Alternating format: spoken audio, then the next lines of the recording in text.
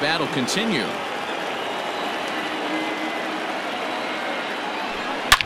Now a swing and a deep drive to left. On to Lansdowne and gone.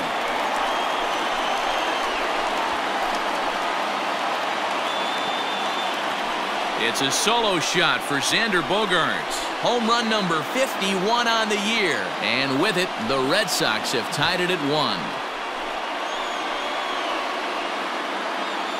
Yeah, it's a long season with a lot of peaks and valleys, but he's getting hot here in September.